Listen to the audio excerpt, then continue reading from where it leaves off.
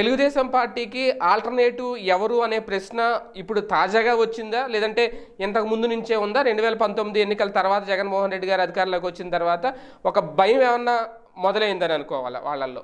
ఇక్కడ ఇప్పుడు వచ్చిందని చెప్పుకోవాలి. ఎందుకంటే ఇరవై మూడు మంది గెలిచిన టైంలో ఒక భయం వచ్చింది. బట్ ఆ తర్వాత స్ట్రాటజిక్గా పోవాలి. అంటే బాబుగారి బాబు గారి నెక్స్ట్ ఎలక్షన్స్ కూడా ఇప్పుడు వాళ్ళేమి బీజేపీ టైప్లో ఆ డెసిషన్ అనేది కదా. డెబ్బై ఐదేళ్ళు దాటిన తర్వాత అనే కాన్సెప్ట్లో కాబట్టి ఆయనే ఉంటారు. ఆయనకి ఆరోగ్యంగా ఉన్నంత వరకు ఆయనే ఉంటారు అనేటువంటిది ఓపెన్గా ఉండేది. కాబట్టి ప్రాబ్లం లేదు. కానీ సాధారణంగా ఎయిటీస్లోకి వచ్చే సెవెంటీ ఫోర్ నెక్స్ట్ సెవెంటీ ఫైవ్కి వచ్చేస్తారు. అప్పుడు ఇంకా ఫైవ్ ఇయర్స్ అంటే ఎయిటీ. బట్ ఆయన పవర్ ఉన్నప్పుడు ఉండే హెల్దీనెస్ వితౌట్ పవర్ ఉండేటప్పుడు హెల్త్కి చాలా తేడా ఉంటుంది. మనం రోషయ్య గారిని చూస్తే అర్థమవుతుంది. అంతకుముందు బాగా వీక్గా ఉన్న మనిషి. సీఎం అవగానే పూర్తిగా స్ట్రెంతన్ అయ్యాయి వణికే చేతులు నిలబడ్డాయి. ఆ. తర్వాత మళ్ళీ గవర్నర్ అయ్యాక తగ్గిపోయింది. మళ్ళీ వణుకుడు వచ్చింది అంటే అర్థం ఏంటి పవర్ అనేటువంటిది అంతే. ఇప్పుడు అధికారం లేకపోవడం అనేది నెక్స్ట్ త్రీ ఇయర్స్ బాగా ఎఫెక్ట్ అవుతుంది. అయితే ఇక్కడ బేసిక్ ఏంటంటే ఆయనకి ఆయన కూడా ప్రాంతీయ పార్టీలకు ఉండే పెద్ద ప్రాబ్లం అదే. వారసత్వాలు. ఇప్పుడు హర్యానాలో ఏమైంది? జేఎంఎంకి ఏమైంది? నాయకులు సు- శిబు సోరెన్ ఉన్నంత వరకు బాగానే ఉంది. కొడుకు వచ్చేటప్పటికి డౌన్ అయిపోయింది. అజిత్ జోగి. తన వరకు బాగానే సక్సెస్ఫుల్ తను ప్రాంతీయ పార్టీ పెట్టిన తర్వాత కొడు తన తర్వాతకు వచ్చేటప్పుడు కొడుక్కి ఎవరో ఒకళ్ళతో తిరగాల్సి వస్తుంది. దాకరేదైనా అంతే. అందుకనినే ప్రాంతీయ పార్టీలు ఏమైపోతుందంటే ఒక మర్రి చెట్టు నీడలాగా అయిపోతుంది. ఇప్పుడు చంద్రబాబుతో చూస్తే లోకేష్ అంతాడా ఎన్టీఆర్తో చూస్తే చంద్రబాబు అన్నాడు అదే ఆయన నడుపుకొచ్చిన వ్యూహం. బట్ లోకేష్కి అదే మీడియా సపోర్ట్ ఉంది. కానీ వాస్తవంగా ప్రాక్టికల్గా అవ్వట్లేదు. అంటే కానీ అప్పుడు ఎన్టీఆర్ టైంలో ఆల్టర్నేటివ్ ఎవరు అనేది అయితే అప్పుడు ప్రజలు ఎదురు చూడలేదు. చంద్రబాబు రావాలని ప్రజలు కోరుకుంటే వచ్చిన వ్యక్తి కాదు. కానీ ఇక్కడ ఎదురు చూస్తున్నారు ఎవరు అనేది. కానీ అది లోకేష్ గారిలో కనిపిస్తుందా? లోకేష్ని చూడగలుగుతున్నారా? పూర్తిగా టీడీపీకి ఆల్టర్నేటివ్ ఈయనే అని? అంటే తెలుగుదేశం క్యాడర్ అయితే మాత్రం లోకేష్నే చూస్తున్నారు. అందులో డౌట్ లేదు. అంటే వేరే సోర్స్ లేక మరి? అంతే కదా. అంటే సోర్స్ లేకనే కాదు వాళ్ళ మైండ్ సెట్ అట్లాగా తయారైపోయింది. ఫ్రమ్ ద బిగినింగ్ చంద్రబాబు గారు దాంట్లో సక్సెస్ అయ్యారో ఆయన అనుకూల మీడియా కూడా సక్సెస్ అయింది. ఆయన ఎప్పుడైతే మంత్రిని చేశారో దట్ ఇట్ సెల్ఫ్ ఒక సంకేతం. సేమ్ టైం జూనియర్ ఎన్టీఆర్ని హరికృష్ణని బాలకృష్ణని ఏమో జస్ట్ పక్కన కూర్చోబెట్టి కథ అంతా నడిపించినప్పుడే అర్థమైంది ఏంటి అక్కడ? కావాలని స్ట్రాటజిక్గా నందమూరి నుంచి తీసుకున్న నార అలాగే కంటిన్యూ అవుతుంది. అంటే నందమూరిని ఎదగనివ్వకుండా నారా వారు తొక్కేశారా ఫ్రమ్ ద బిగినింగ్ అది వాళ్ళు తొక్కారంటే ఒప్పుకోరు. పార్టీని రానివ్వట్లేదు కదా. ఇప్పుడు బాలయ్య గారి విషయం అంటే ఓకే. ఆయన ఎప్పటి నుంచో ఎమ్మెల్యేగా కంటిన్యూ అవుతారు తప్ప అంటే ఆయనకి ఇంట్రెస్ట్ ఉంటే వేరే రకంగా ఉండేదేమో ఆయన ఎప్పుడు వస్తారు అని అనలేదేమో. కానీ జూనియర్ ఎన్టీ గారి విషయంలో ఎక్కడో చోట కోరుకుంటున్నారు ప్రజలు. ఆయన వస్తే ఒక ఆల్టర్నేటివ్ ఏమో టీడీపీ కానీ. కానీ ఇక్కడ చంద్రబాబు గారు రానివ్వట్లేదు అనేది చాలా స్పష్టంగా అర్థమవుతుంది. అంటే బేసిక్గా అసలు from the beginning Nandamuri family ఎన్టీఆర్ని ఒప్పుకోరు. నందమూరి ఫ్యామిలీ ఇతను రెండో భార్య కుమారుడు కాబట్టి ఒప్పుకోలే. మొదటి నుంచి కూడా అసలు ఇతన్ని దూరంగానే పెట్టారు. ఒక్క ఎన్టీఆరే దగ్గర తీస్తుండేవాడు. ఆయన దగ్గరికి ఇది ఉండేది కానీ కొడుకు ఇది అనే కాన్సెప్ట్లో. బట్ దగ్గరికి రానిచ్చేవాళ్ళు కదా. సాధారణంగా మనం సీరియల్ చూస్తుంటాం కదా. సీరియల్ కంటే కూడా పెద్ద సీరియల్ వెళ్ళదు. ఆ యాంగిల్లో తక్కువే. కానీ మరి రెండు వేల తొమ్మిదిలో ఎందుకు దగ్గర ప్రయత్నం అదే అనేది అక్కడే దాంట్లో అక్కడ చంద్రబాబు నాయుడు పార్టీనే శాంతం దెబ్బతినే పరిస్థితి వచ్చింది చిరంజీవి ఇంపాక్ట్. పిఆర్పి వచ్చింది అప్పుడు చిరంజీవి ఇమేజ్ పెద్ద ఎత్తున అసలు వీళ్ళిద్దరికే కాదు కదా ముగ్గురు నలుగురు నాయకులు వెళ్తే కూడా రానంత జనం వచ్చేవాళ్ళు రెండో పక్కన రాజశేఖర రెడ్డికి ఆధారం రాజశేఖర రెడ్డికి ఉంది వాళ్ళ సర్వేలు అయినా ఇవన్నీ ఈ రెండింటిని తట్టుకోవాలంటే ఒక్క చంద్రబాబు ఇమేజ్ ఆనట్లు అక్కడ. బాలయ్యని దింపారు ఆ టైంలో. వర్క్ అంటే వాళ్ళ జనం వాళ్ళకి వస్తారు తెలుగుదేశం జనం తెలుగుదేశానికి వస్తారు బట్ ఇంకొక వైపు నుంచి అంటే ఒక్క బాలయ్య మీదనే డిపెండ్ అయితే కుదరదు. అందులో బాలయ్య స్పీచ్లో పావు వంతు అర్థమైతే ముప్పై వంతు ఆయనకు కూడా అర్థం కాదు. తర్వాత వింటే. కాబట్టి అలా ఆయన్ని నమ్ముకుంటే కనుక చిరంజీవితో కంపేర్ చేస్తే బాలయ్య వెళ్ళిపోద్ది కదా. కాబట్టి ఏం చేశారు? జూనియర్ ఎన్టీఆర్ అప్పుడు నందమూరి ఫ్యామిలీని అంతా ఒప్పించాడు ఈయన. ఒప్పించి తీసుకొచ్చాడు. పార్టీ భవిష్యత్తు కోసం అని ఇప్పుడు నందమూరి ఫ్యామిలీలో కూడా అందరూ ఒక అందరూ ఒక మాట మీద ఎప్పుడు ఉన్నటువంటి వాళ్ళు కాదు. అటు ఒక మాట ఇప్పుడు పురంధరేశ్వర ఒక పక్కన ఉంటే భువనేశ్వర్ మరో పక్కన లేదా?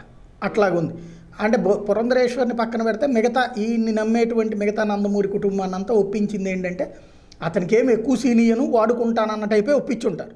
అంతేగాని భవిష్యత్ తెలుగుదేశం వారసుడని ఒప్పించి ఉండడం ఎందుకంటే ప్రస్తుతం మన పార్టీని కాపాడుకోవాలంటే కావాలి కాబట్టి అనేటువంటి. వాళ్ళందరూ మనస్ఫూర్తిగా కోరుకుని ఉంటారు. ఫెయిల్ అవ్వాలని కూడా. పార్టీ గెలవాలని కోరుకుని ఉండరు. అవును అప్పుడు అదే జరిగింది. అదే జరిగింది. కోరుకున్నది వాళ్ళు కోరుకున్నది జరిగింది. ఓడిపోవడం వల్ల ఈయన పక్కన కానీ పెట్టారు ఒక ఊపు అయితే వచ్చింది. గెలవలేకపోయినా టీడీపీ జూనియర్ ఎన్టీఆర్ రాకతో ఒక ఊపు రావడం ప్రజలందరూ రోడ్డు మీదకి రావడం అంటే మరి అది ఒక ఆకర్షణతో వచ్చారా నిజంగా ఓట్లు వేసారా అనేది ఇంక తర్వాత ఫలితాల తర్వాత తెలిసింది హిందూ ధర్మంలో ఒక లెక్క ఉంటుంది. స్వర్గ నరకాలు అనేటువంటిది ఆకాశంలోకి వెళ్ళాక కాదు. భూమి మీదనే మనకి కనిపిస్తాయి. అది మొదట్లో. యుక్త వయసులో చేసే తప్పులు వృద్ధాప్యంలో వెన్నాడతాయి అంటారు. ఆ మాట ఎందుకన్నా ఇప్పుడు ఎన్టీ రామారావు అనేటువంటి ఒక మహాశక్తివంతుడు. ఆయన తన కృషితో తను పైకి ఎదిగినోడు. తన శక్తితో తనకి ఎదిగినోడు. ఇక్కడ కమ్మ సామాజిక వర్గం ఆయన పెంచి పోషించాల. ఆయన పేరు చెప్పుకుని వీళ్ళు బతికారు కానీ ఈ వీళ్ళ వల్ల ఆయన ఎదిగింది కాదు. ఉన్నది వీళ్ళ పర్సంటేజ్ ఆఫ్ ఓటింగ్ ఎంత?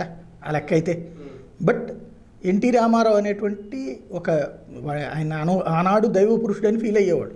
ఆయన సినిమాల ఇంపాక్ట్ కావచ్చు ఆయనలో ఉన్నటువంటి మంచితనం కావచ్చు. ఇది మ, ఇప్పుడు పవన్ ఎందుకంటుంటారు? సాయం చేస్తుంటాడు. అందరికీ చేసేయకపోవచ్చు. కానీ అత్యంత అవసరమైనటువంటి వాళ్ళకి సాయం చేయడం. జగన్ ఎందుకు అంటుంటారు కష్టాల్లో ఉన్నటువంటి వాళ్ళని ఆదుకున్నాడు అన్నటువంటి. రాజశేఖర రెడ్డిదైనా అదే క్రెడిట్ ఆదుకోవడం అనేటువంటి లక్షణాలు. ఎన్టీఆర్కి కూడా అదే లక్షణం. వరదలు వస్తే సినిమా వాళ్ళందరూ ఇళ్ళలో కూర్చున్నప్పుడు రోడ్డు మీద జోలి బట్టి తీసుకొచ్చినటువంటి వాడు. తన జీత తన సంపాదనలో అప్పుడు ఎంత జీతాలే కదా నెలవారీ జీతాలు అప్పుడు. అలాంటి రోజుల్లో కూడా లక్షల రూపాయలు డొనేట్ చేసినటువంటి వాడు. మంచితనానికి మారుపేరుగా ఉండేవాడు వచ్చిన వాళ్ళకి ఆ టైంలో ఉండటం కానీ ఇది. ఆ ఇది ఆయన ఒక ఇమేజ్ తీసుకొచ్చింది. ఆయన పార్టీ పెట్టాక ఆయన తపనే కదా. ఆయన మంచితనానికి వీళ్ళందరూ తోడయ్యారు కానీ వీళ్ళ వల్ల ఆయన రావడం కాదు కదా. గెలిచిన తర్వాత అంతటి మహా వ్యక్తిని ప్రజలు ఆదరించిన తర్వాత పక్కన పెట్టేశారు. ఎలా ఇప్పుడు ఆయన వివాహం చేసుకున్నాడు రెండో వివాహం. ఆయన ఎందుకు చేసుకున్నాడు? కుటుంబ సభ్యులే పోషిస్తే అసలు గొడవే ఉంది. పోషణ కూడా డబ్బులకేం ప్రాబ్లం లేదు కదా. దగ్గరుండి చూసుకోవడం. తిండి వాళ్ళు ఇప్పుడు వాళ్ళ కొడుకులు కూతుళ్ళు అందరూ బ్రతికింది ఆయన వల్లనే కదా. ఆ పేరు వచ్చింది కానీ ఆ స్టేజ్ వచ్చింది కానీ ఆయనే లేకపోతే ఆయనే సంపాదించకపోతే వాళ్ళందరూ అసలు వెల్ సెటిల్డ్ ఎక్కడుండేవాళ్ళు? అలాంటి కోడళ్ళు కూడా ఈయన దగ్గర ఏమైనా ఉండి చూసుకున్నారా ఆ టైంలో ఎవరిల్లు వాళ్ళే ఎవరి జీవితం వాళ్ళదే. సో చివరికి అనారోగ్యం పాలే మనిషి ఉంటాడా లేడా అన్న సందర్భంలో ఎవరు పట్టించుకోని టైంలో ఇంక్లూడింగ్ ఇదే ముఖ్యమంత్రి పదవి కోసం తర్వాత తహతహలాడినటువంటి చంద్రబాబు గారిని వాళ్ళ కుటుంబం కానీ దగ్గరుండి చూసుకుందా? లేదే. ఆ టైంలో అప్ప- అమ్మాయి లక్ష్మీభారత్ అప్పుడంటే అమ్మాయే. ఉంది దగ్గర ఉంది చూసుకుంది. అందుకోసమనే ఆయన పెళ్ళి చేసుకున్నాడు. అది వ్యక్తిగతంలో తప్ప రైట్ అన్నటువంటిది జనం డిసైడ్ చేయాలి. జనం డిసైడ్ చేశారు కదా ఆ రోజున? చేసిన తర్వాత ఇక్కడ కుక్కని చంపాలంటే పిచ్చి కుక్క అన్నట్టు చేయడం కోసం ఆవిడే కోట్ల కోట్లు లక్షల కోట్లు తినేస్తుంది వేల కోట్లు తినేస్తుంది. మరి ఇప్పుడు ఆవిడ పరిస్థితి ఏంటి? ఆ స్టేజ్ తెచ్చారు. ఆయన్ని వెధవం చేసేసారు ఆయన అమ్మాయిల పెచ్చోడు అవి వాడుతున్నారు ఇవి వాడుతున్నారు స్టెరాయిడ్స్ వాడుతున్నారు ఇట్లాంటిది అసలు రకరకాల. వాళ్ళ కుటుంబంలో కూడా బ్యాడ్ తీసుకొచ్చారు. స్టెరాయిడ్ ఎవడొచ్చి చూశాడు. వీళ్ళు వచ్చి చూ వీళ్ళే పెడతారు అక్కడ? వీళ్ళు ఇప్పుడు ఎట్లా ఉంటుందంటే ఎవరినైనా సరే అర్థం చేయాలన్నప్పుడు వీళ్ళే ఒక నాలుగు సాక్ష్యాలు రాసేస్తుంటారు అట్లా వేసేయడం అనేది చేశారు. అట్లా కుటుంబానికి దూరం చేశారు. ఇటు పక్కన ఈవిని. చివరికి ఆ వంక చూపించి మీకందరికీ నేను చూసుకుంటానని చెప్పి పార్టీని తీసుకున్నారు. తీసుకున్నాక ఏం చేశారు? ఒక్కడు కుటుంబంలో వాడిని బాగు చేశారా? ఈవెన్ బాలయ్యని కూడా అప్పుడేం లేదుగా. ఎవరి కాళ్ళని అందరినీ వాడేసుకున్నారు కానీ చేశారా? తన తను పదవిలోకి రావడానికి కాదు దగ్గుబాటిని ముంచేశారు. హరికృష్ణని ముంచేశారు. అవును. బాలయ్యని తోసేశారు. అంత అయిపోయింది. ఇక తన చేతిలోకి పవర్ని అంతా నడిపించుకున్నాక మళ్ళీ మీడియా ఈ సపోర్ట్తోనే నడుపుకొచ్చారు. అయితే ఎప్పుడైతే అది పోయింది ఒక టర్మ్ అప్పుడు వాజ్పేయి పుణ్యం ఆ టైంలో ఓ రకంగా సర్వైవ్ అయిపోయాడు. లేకపోతే వాజ్పేయి టైమే లేకపోతే అప్పుడుతో క్లోజ్ అయిపోయింది పార్టీ. వాజ్పేయి పుణ్యం అని ఛాన్స్ వచ్చింది. బట్ అలాగని వాజ్పేయికి ఏమన్నా ఆదరణ ఇచ్చారా? వాళ్ళని మళ్ళీ రెండు వేల నాలుగులో ముంచేశారు. ఇద్దరిని ముంచిన ఫలితం ఏమైంది రెండు వేల పద్నాలుగు దాకా లేదు. తర్వాత అదృష్టవశాత్తు పాజిటివ్ వచ్చింది అది మోడీ ఇంపాక్ట్. దాన్ని వాడుకున్న తర్వాత ప్లస్ విభజన ఎఫెక్ట్ ప్లస్. విభజన ఎఫెక్ట్ ఈ రెండింటిని వాడుకున్నాక పోనీ అక్కడన్నా వీళ్ళని జాగ్రత్త చూసారు హరి- హరికృష్ణని అప్పుడు మళ్ళీ కుటుంబ సభ్యులు లేదు పదేళ్ళు దూరం అయ్యేటప్పటికి మళ్ళీ కుటుంబ సభ్యులకి దగ్గరని చేశాడు మళ్ళీ హరికృష్ణ మళ్ళీ పవర్లోకి రాగానే హరికృష్ణని. తొక్కవతలు పడేశారు. ఇట్లాంటి అంత చేసినప్పుడు అంటే తను తన కొడుకు అనే కాన్సెప్ట్ కోసం తనకి రాజకీయ లైఫ్ ఇచ్చిన వాళ్ళని అందరినీ తొక్కవతలు రకంగా